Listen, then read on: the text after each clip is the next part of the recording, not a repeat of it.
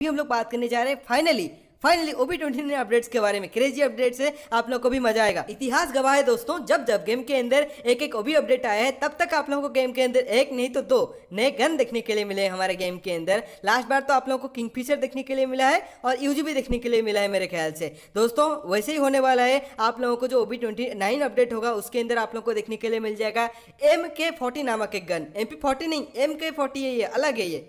अपने साथ मत जोड़िए हमको।